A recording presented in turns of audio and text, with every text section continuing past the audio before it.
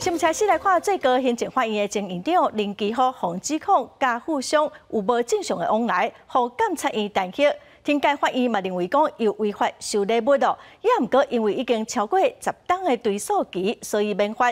另外，正是林地方法院的法官陈吴钦洪志康在放荡内，天界法院嘛判罚四个月刑事，会当个上诉。民间司改会嘛呼吁讲应该爱强化法官的监督机制。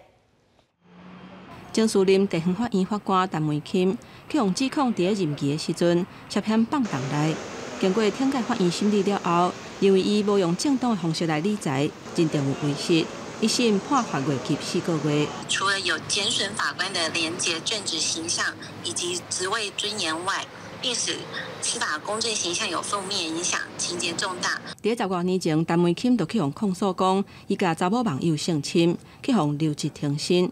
复职了后，各向检举，伊讲无适当的话，甲女下死性所扰。后来，佫因为加报加班费，伫二零一九年去用洗头路。即届搁去用查到伊家银行借贷八百万了后，为约转借互朋友，放荡来来蹭里头。毋过，伊即马已经毋是法官，甲法院级是要安怎续转来的？如果这个发放的判决确定之后，呃，司法院会这个进行行这个行政的强制执行。不愿意缴纳案款的话，我们会对他的财产进行查封。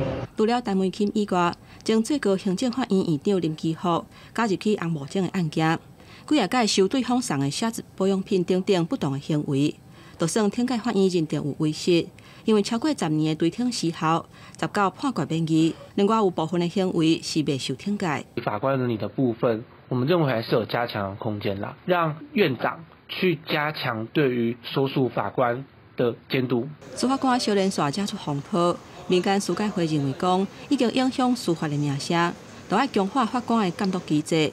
细康唔补，大康就叫苦，唔通让这种违法的行为一再发生。记者综合报道。